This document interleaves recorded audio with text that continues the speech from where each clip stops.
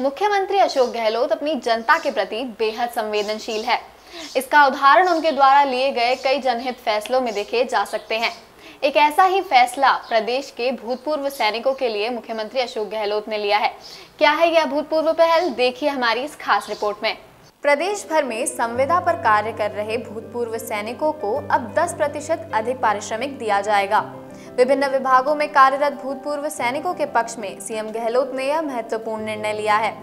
इस विषय में वित्त विभाग के प्रस्ताव को मंजूरी प्रदान की है। राजस्थान एक्स सर्विसमैन कॉरपोरेशन के माध्यम से सिक्योरिटी गार्ड, तकनीकी सहायक, सुपरवाइजर, सिक्योरिटी ऑफिसर आदि के रूप में लगभग 4000 भूतपूर्व सैनिक नियोजित हैं। इन कर्मियों को देय मासिक पारिश्रमिक में 10 प्रतिशत की वृद्धि होने पर राज्य सरकार पर प्रतिवर्ष छह दशमलव छियासठ करोड़ रुपए का अतिरिक्त वित्तीय भार आएगा।